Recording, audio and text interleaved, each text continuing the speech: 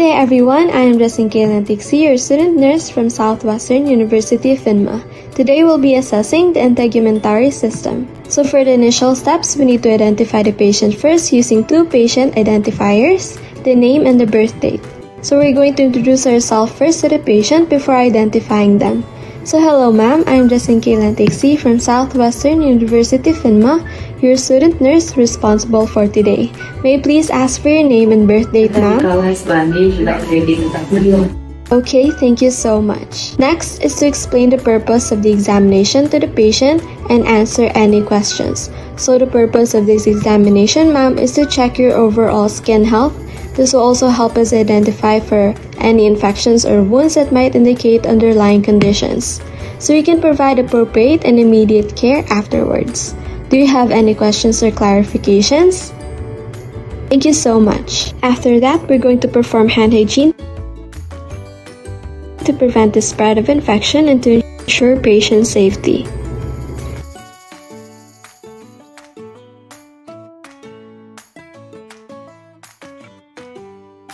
And before assessing, we're going to ask first for consent of the patient. So ma'am, is it okay if I will be the one to assess you in this examination? Thank you so much.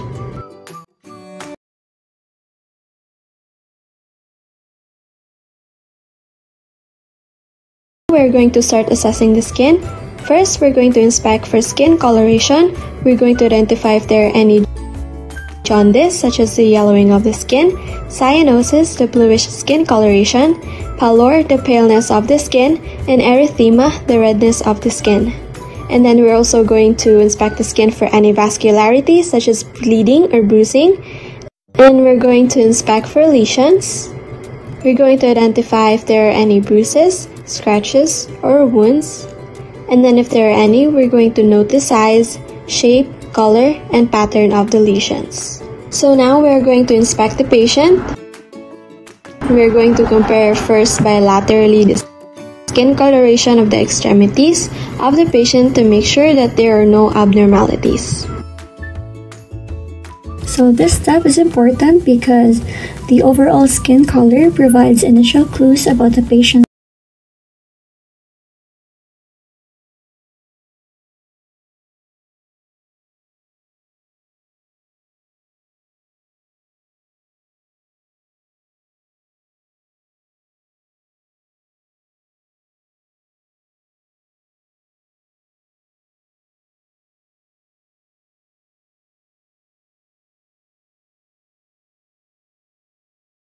Next, we're going to palpate for the skin temperature of the patient using the dorsal part of our hand since it is less keratinized and is very sensitive to temperature. And make sure if the patient has any open wounds or cuts, we are going to wear gloves to prevent cross-contamination. Assessing the temperature helps us identify the potential areas of inflammation or circulatory compromise. Like for instance, a warm area could indicate an infection or inflammation, while cooler areas might be a sign of poor blood flow or peripheral vascular disease. And temperature changes can also help us in assessing the body's response to trauma or illness, and a significant difference in temperature between two areas may suggest abnormal circulation.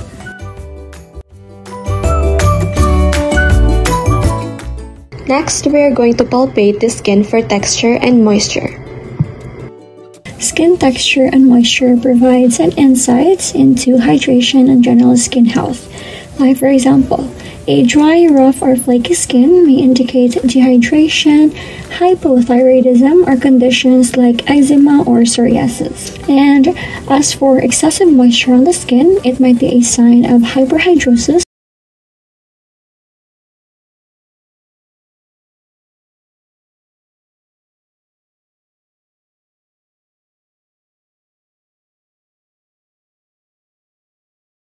Next, we are going to assess for skin turgor by gently pinching the skin under the clavicle.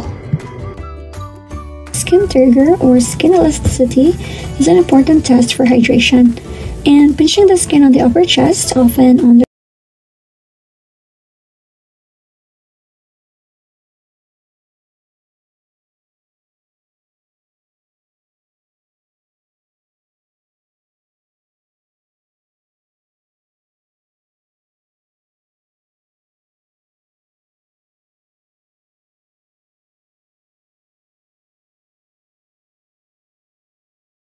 Then, we are going to palpate for edema, which is usually characterized by swelling or the shiny skin in the edematous area, usually seen in the lower extremities.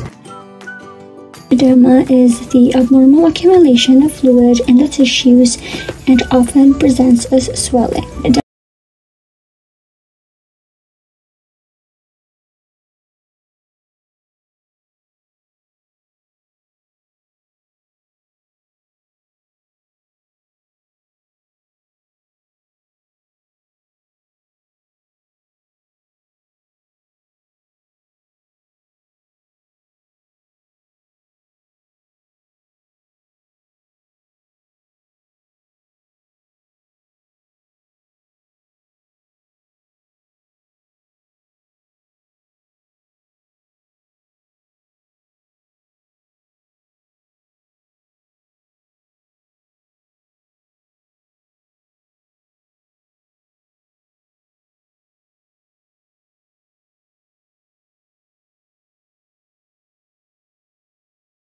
In this part, if there are any lesions present, put on gloves and palpate the lesion.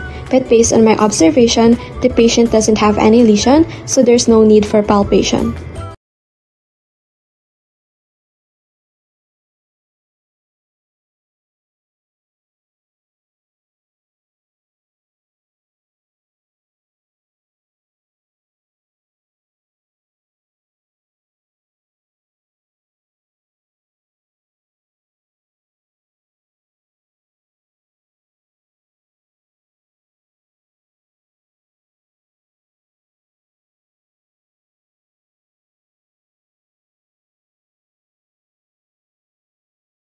Next, we're going to inspect the nail angle, noting for any clubbing present. Also check the shape and color of the nails. We're going to instruct the patient in creating a heart symbol. This is the Schamroth sign. And we're going to look for the presence of the diamond between the nails. If there's no presence of diamond, then the patient may be at risk for heart and lung diseases. So ma'am, can you please create a heart symbol? I'm just going to check if there are signs of clubbing. Clubbing of the nails is a physical sign where the angle between the nail bed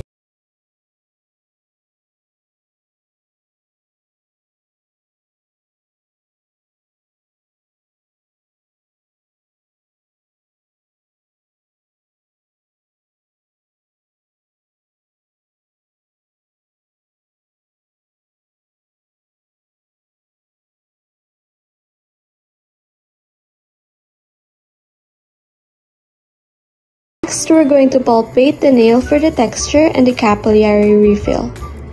Ma'am, can you please give me your hands? Palpating the nails involves assessing their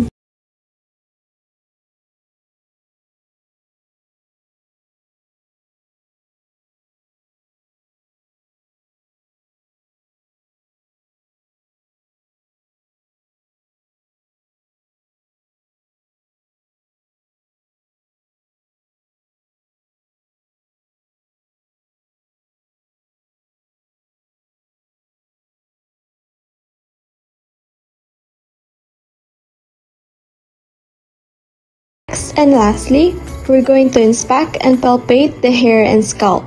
Wear gloves if there are any lesions or infestations present or if hygiene is poor. So this step is important because inspecting the hair and the scalp can reveal important clues about a patient's overall health.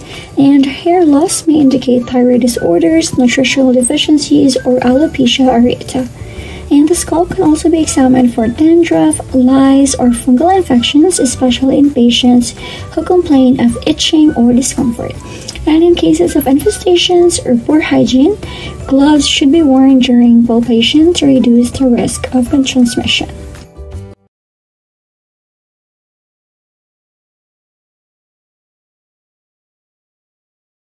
After doing all the steps in the assessment, we're going to proceed now to aftercare or after procedure.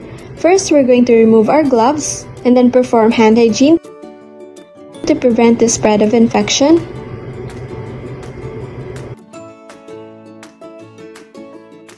and then we're going to document all the findings in the assessment to provide and keep records for evaluation and for continuity of care.